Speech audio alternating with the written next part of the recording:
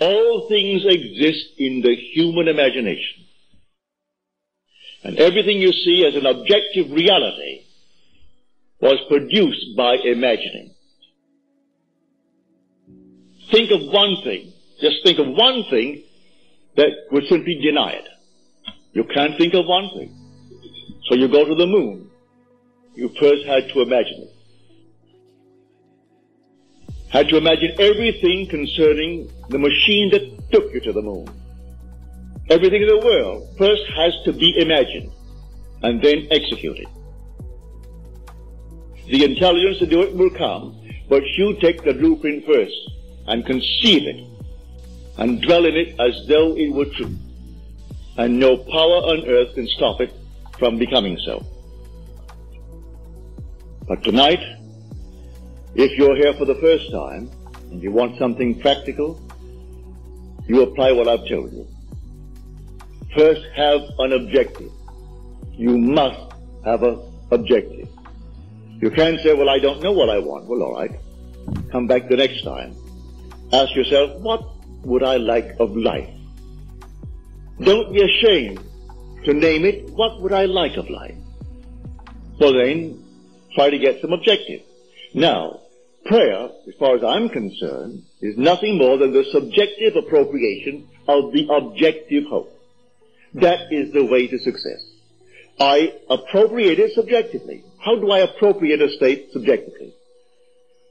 Well, suppose now, this very moment, I wanted a ball, an ordinary baseball. But there isn't a baseball in the room, all right? But I want one. I would actually assume that I am holding a baseball in my hand until I could feel it. You think you can't feel it? Well, now try it. Try to feel what it would be like if you held a baseball. Now, to prove that you have held it, see what it feels like, the difference now, a tennis ball. See any difference? All right, a golf ball. See any difference? A piece of silk. You feel any difference? If you can distinguish between these many objects, though they are subjective, then they must exist somewhere. If you can actually separate them in your mind's eye and distinguish between these objects, I can begin to feel, begin to sense, begin to smell a rose. Well, a rose doesn't smell or doesn't actually have the odor of another flower. I can detect the rose. Now a lily, an Easter lily. I can detect that. Well, what does it do? Well, I'm going to get them.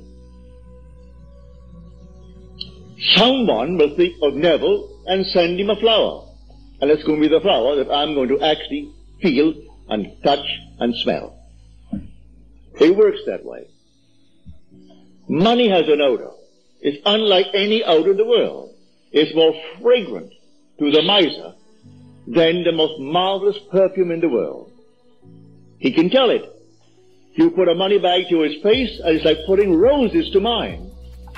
He loves it. He can smell money. Can feel it. Money has a distinct feel about it. Put a $20 bill in your hand and ask you to feel it, and then put another piece of paper in your hand, and you can tell the difference. There's a difference. It is an odor to it. All this is part of the inner man that all things are possible to him. Try it. Before you condemn it, try it. And if you have the evidence to support my claim, well then it doesn't matter what the world will tell you. If he laughs at you, so what? So they laughed at everyone who had an idea that seemed a little bit off center. Always laughed at him.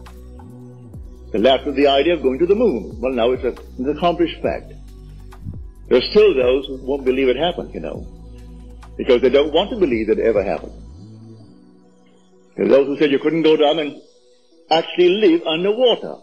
Now we have a submarine. There are still those who won't believe it.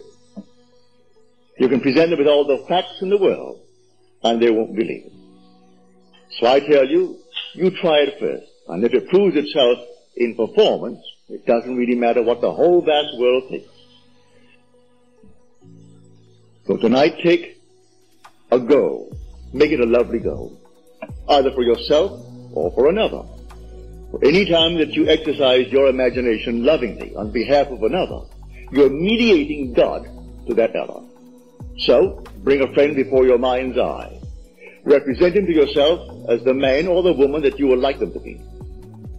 And don't tell them, ask for no praise, just assume that they're talking to you and telling you the most marvelous news about themselves. And you congratulate them on that good news. And go your own way. Believe in the reality of that imaginal act. It may happen tomorrow. It may happen the day after, or a week later, or a month later. It has its own appointed hour, and it is ripening and it's going to flower. So don't be concerned. Leave it alone, and it will come to pass. So this is what I mean by feeling is the secret. I catch the mood, the feeling that would be mine if I were what I want to be. I don't have to touch something. I can if I want to. But it's the mood I'm speaking of. What would the feeling be like if she were well? If she were this? And then you catch it, just as though it is true. You always go to the end, and the end is where you begin. We're always imagining ahead of our evidence. So go to the end. And feel the end. And then, dwell in that end, even though reason denies it and your senses deny it. You turn your back upon the doubters. That is your senses and what reason dictates. That's the hell or the devil or Satan in the world. That's the doubter. So you turn your back upon it. And then you walk as though things were as you want them to be. And living in that assumption, it slowly hardens into fact. Even though at the moment of the assumption it was denied by reason, an assumption, though false, if persisted in, will harden into fact. So you learn to assume and learn to persist in the assumption, and it will come to pass.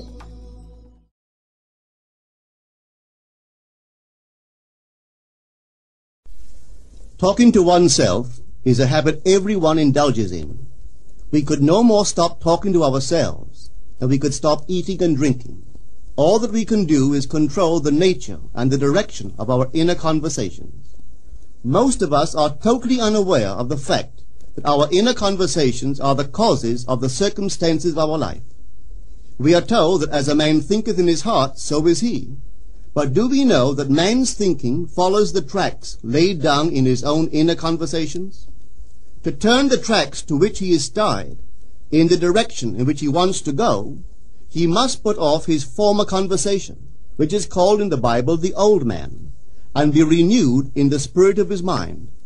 Speech is the image of mind. Therefore, to change his mind, he must first change his speech. By speech is meant those mental conversations we carry on with ourselves. The world is a magic circle of infinite possible mental transformations, for there are an infinite number of possible mental conversations. When man discovers the creative power of inner talking, he will realize his function and his mission in life. Then he can act to a purpose. Without such knowledge, he acts unconsciously.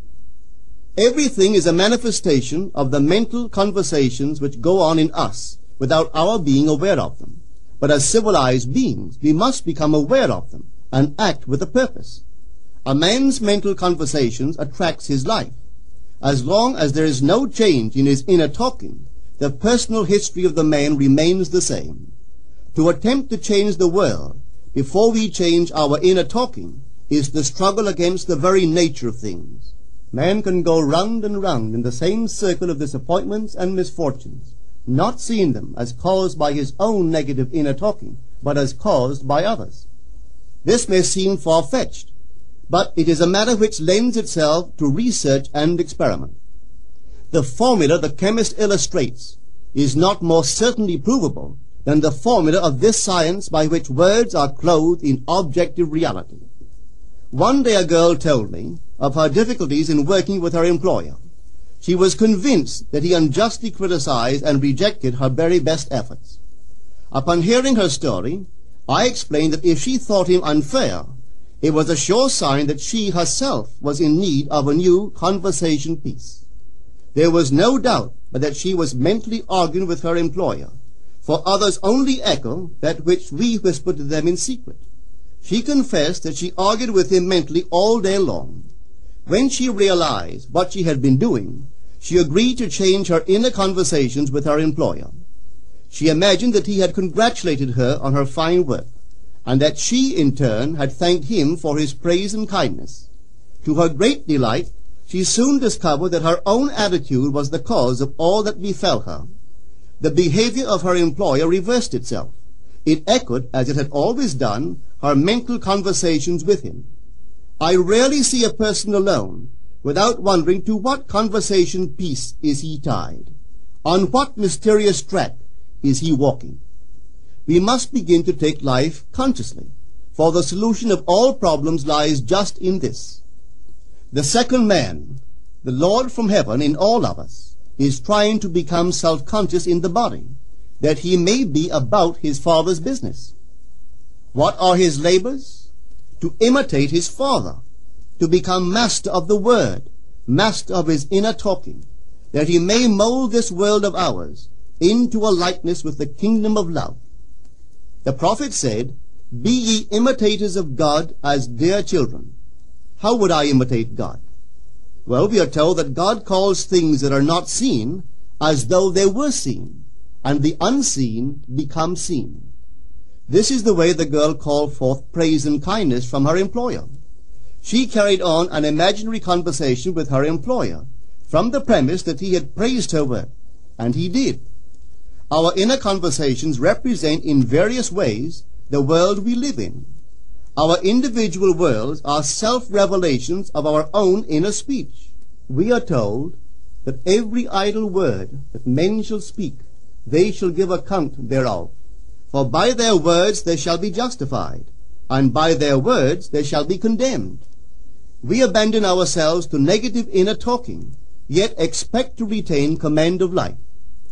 Our present mental conversations do not recede into the past as man believes. They advance into the future to confront us as wasted or invested words. My word, said the prophet, shall not return unto me void, but it shall accomplish that which I please, and it shall prosper in all the things whereto I sent it. How would I send my word to help a friend? I would imagine that I am hearing his voice, that he is physically present, that my hand is on him. I would then congratulate him on his good fortune, tell him that I have never seen him look better. I would listen as though I heard him. I would imagine that he is telling me he has never felt better, he has never been happier. And I would know that in this loving, knowing communion with another, a communion populous with loving thoughts and feelings, that my word was sent, and it shall not return unto me void, but it shall prosper in the thing whereto I sent it. Now is the accepted time. Now is the day of salvation. It is only what is done now that counts, even though its effects may not be visible until tomorrow. We call not aloud, but by an inner effort of intense attention. To listen attentively, as though you heard, is to create. The events and relationships of life are your word made visible. Most of us rob others of their willingness and their ability to be kind and generous by our fixed attitudes towards them. Our attitudes unfold within us in the form of mental conversations. Inner talking from premises of fulfilled desire is the way to consciously create circumstances. Our inner conversations are perpetually outpictured all round us in happenings. Therefore, what we desire to see and hear without, we must see and hear within, for the whole manifested world goes to show us what use we have made of the word. If you practice this art of controlled inner speaking, you too will know what a thrill it is to be able to say, and now I have told you before it come to pass, that when it is come to pass, ye might believe. You will be able to consciously use your imagination to transform and channel the immense creative energies of your inner speech from the mental, emotional level to the physical level. And I do not know what limits, if any, there are to such a process. What is your aim? Does your inner talking match it? It must, you know. If you would realize your aim, for as the prophet asked, Can two walk together except they be agreed? And of course the answer is no, they cannot. The two who must agree are your inner conversation and the state desired. That is, what you desire to see and hear without, you must see and hear within. Every stage of man's progress is made by the conscious exercise of his imagination, matching his inner speech to his fulfilled desire. As we control our inner talking, matching it to our fulfilled desires, we can lay aside all other processes. Then we simply act by clear imagination and intention. We imagine the wish fulfilled and carry on mental conversations from that premise. The right inner speech is the speech that would be yours were you to realize your ideal. In other words, it is the speech of fulfilled desire. Now you will understand how wise the ancient was when he told us in the Hermetica, there are two gifts which God has bestowed upon man alone, and on no other mortal creature. These two are mind and speech, and the gift of mind and speech is equivalent to that of immortality. If a man uses these two gifts rightly, he will differ in nothing from the immortals. And when he quits his body, mind and speech will be his guides, and by them you will be brought into the troop of the gods and the souls that have attained to bliss. With the gift of mind and speech, you create the conditions and circumstances of life. In the beginning was the Word, and the Word was with God, and the Word was God. The Word, said Hermes, is Son, and mind is Father of the Word. They are not separate one from the other, for life is the union of word and mind. You and your inner talking or word are one. If your mind is one with your inner conversation, then to be transformed in mind is to be transformed in conversation. It was a flash of the deepest insight that taught Paul to write, Put off the former conversation, the old man, which is corrupt, and be renewed in the spirit of your mind. Put on the new man, Put on the new man and be renewed in the spirit of your mind is to change your inner conversation, for speech and mind are one. A change of speech is a change of mind. The prophet Samuel said, The Lord spake by me, and his word was in my tongue. If the Lord's word was in the prophet's tongue, then the Lord's mouth that uttered the word must be the prophet's mind. For inner conversations originate in the mind, and produce little tiny speech movements in the tongue. The prophet is telling us that the mouth of God is the mind of man, that our inner conversations are the word of God, creating life about us as we create it within ourselves. In the Bible you are told that the word is very near to you, in your mouth and in your heart, that you may do it. See, I have set before you this day life and good, death and evil, blessings and cursings. Choose life. The conditions and circumstances of life are not created by some power external to yourself. They are the conditions which result from the exercise of your freedom of choice, your freedom to choose the ideas to which you will respond. Now is the accepted time. This is the day of salvation. Whatsoever things are of good report, think on these things. For your future will be formed by the word of God, which is your present inner talking. You create your future by your inner conversations. The worlds were framed by the Word of God. That is your inner talking. See yonder fields? The sesamum was sesamum. The corn was corn. The silence and the darkness knew. So is a man's fate born. For ends run true to origins. If you would reap success, you must plant success. The idea in your mind, which starts the whole process going, is the idea which you accept as true. This is a very important point to grasp, for truth depends upon the intensity of imagination, not upon facts. When the girl imagined that her employer was unfair, his behavior confirmed her imagination. When she changed her assumption of him, his behavior reflected the change, proving that an assumption, though false, if persisted in, will harden into fact. The mind always behaves according to the assumption with which it starts. Therefore, to experience success, we must assume that we are successful. We must live wholly on the level of the imagination itself, and it must be consciously and deliberately undertaken. It does not matter if, at the present moment, external facts deny the truth of your assumption. If you persist in your assumption, it will become a fact. Signs follow. They do not precede. To assume a new concept of yourself is to that extent to change your inner talking or word of God, and is therefore putting on the new man. Our inner talking, though unheard by others, is more productive of future conditions than all the audible promises and threats of men. Your ideal is waiting to be incarnated, but unless you yourself offer it human parentage, it is incapable of birth. You must define the person you wish to be, and then assume the feeling of your wish fulfilled, in faith that that assumption will find expression through you. The true test of religion is in its use, but men have made it a thing to defend. It is to you that the words are spoken. Blessed is she that believed, for there shall be an accomplishment of those things which are spoken unto her from the Lord. Test it, try it. Conceive yourself to be one that you want to be, and remain faithful to that conception.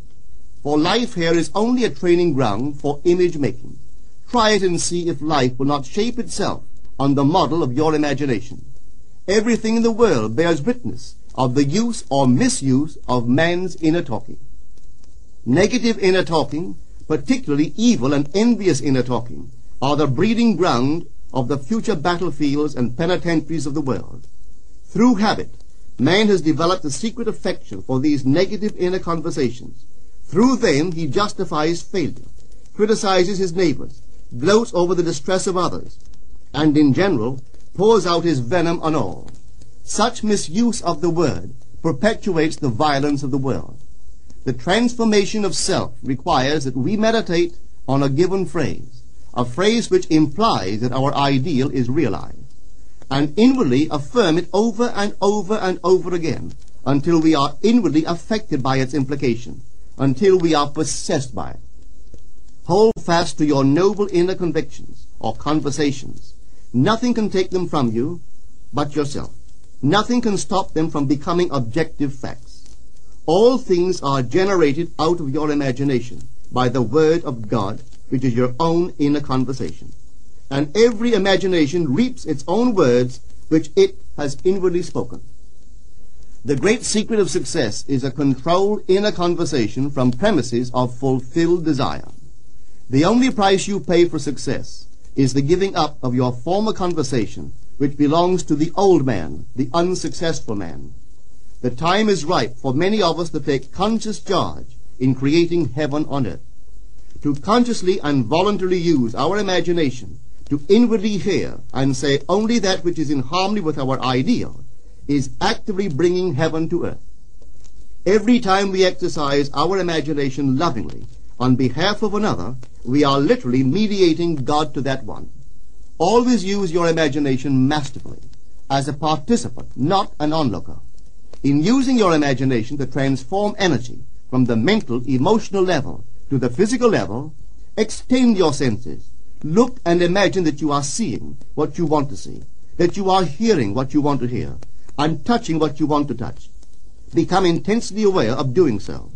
Give your imaginary state all the tones and feeling of reality. Keep on doing so until you arouse within yourself the mood of accomplishment and the feeling of relief. This is the active, voluntary use of the imagination, as distinguished from the passive, involuntary acceptance of appearances. It is by this active, voluntary use of the imagination that the second man, the Lord from heaven, is awakened in man. Men call imagination a plaything, the dream faculty, but actually it is the very gateway of reality. Imagination is the way to the state desired. It is the truth of the state desired and the life of that state desired. Could you realize this fully, then would you know that what you do in your imagination is the only important thing. Within the circle of our imagination, the whole drama of life is being enacted over and over again. Through the bold and active use of the imagination, we can stretch out our hand and touch a friend 10,000 miles away and bring health and wealth to the parched lips of his being. It is the way to everything in the world. How else could we function beyond our fleshly limitations? But imagination demands of us a fuller living of our dreams in the present. Through the portals of the present, the whole of time must pass. Imagine elsewhere as here, and then as now. Try it and see. You can always tell if you've succeeded in making the future dream a present fact by observing your inner talking.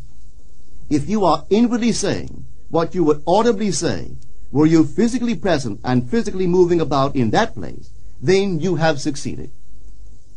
And you could prophesy from these inner conversations and from the moods which they awaken within you what your future will be.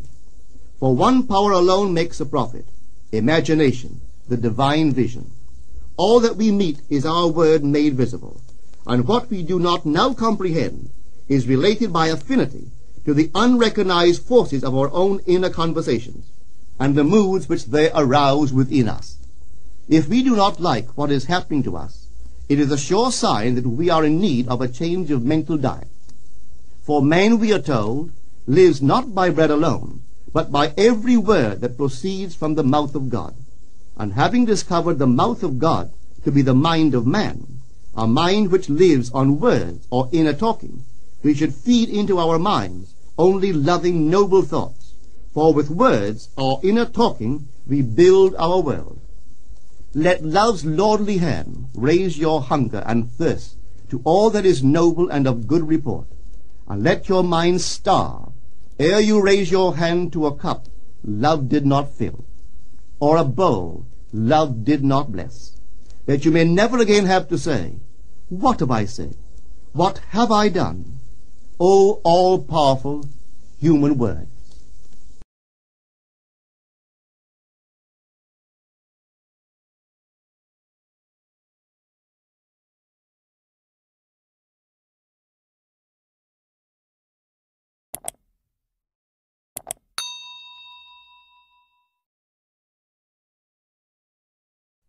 I was amazed by this saying of Neville Goddard when I first heard it. It sounds so true, it sounds so good, like I couldn't believe first when I heard it. Like wow, this is what I just wanted in my life, like I just wanted something to kick in and bring back my motivation. As a young boy, I was always a curious person, always asking questions inside myself, like why, why this is happening, and why this guy is so rich, and how, why is not everyone equal, and this just came to me, and I felt relief. And just that time I understood how the world works. And this was the line from Neville. Talking to oneself is a habit everyone indulges in. We could no more stop talking to ourselves than we could stop eating and drinking. Like not everyone indulges in, if you don't know that your words are creating your reality. Before knowing this, I changed my feelings maybe 100 times a day, like I couldn't stick to one feeling, one reality. I just changed my realities, like one by one, every time. Like it is so important to kick the negative conversations out of your brain, because every word, every conversations create reality into your mind. Like if you don't stick to one, maybe you don't know when the subconscious mind accepts the reality. You don't know when the subconscious accepts one reality that's that has gone into your mind and it will accept it as true. And he continues. All that we can do is control the nature and the direction of our inner conversations. Most of us are totally unaware of the fact that our inner conversations are the causes of the circumstance of our life. Like coaches nowadays say that, try to stop your thoughts. But why would you stop your thoughts when God is speaking to us? The word is always seeking for embodiment, like the thoughts are for humans. We need them. Without them, we cannot create. Thoughts are to be managed, not to be stopped. Some studies show that a man gets 60,000 thoughts a day. Like, how can you stop 60k thoughts a day? Maybe you can with practice, but why would you do that? Why is, what is the point? Why, why spend energy to stop them when you can use them to create? Because without thoughts, we are nothing. We can create nothing. We are told that as a man thinketh in his heart, so is he. But do we know that man's thinking follows the tracks laid down in his own inner conversations? To turn the tracks to which he is tied in the direction in which he wants to go, he must put off his former conversation, which is called in the Bible the old man, and be renewed in the spirit of his mind. Like throw down your old inner conversations, kill your old self, and be renewed in the spirit of your own mind. Like create your new reality. Like speech is the image of mind, therefore, to change his mind, he must first change his speech. By speech is meant those mental conversations we carry on with ourselves. The world is a magic circle of infinite possible mental transformations, for there are an infinite number of possible mental conversations. When man discovers the creative power of inner talking, he will realize his function and his mission in life. Then he can act to a purpose. He can now create his life as he loves it to be. Stop your noises. Find a calm, a relaxing place and start doing it. Like put it to the test. Find what is the reality that you love to have and take action. Okay guys, that's it for this video. Thanks for watching and now let us go into the silence.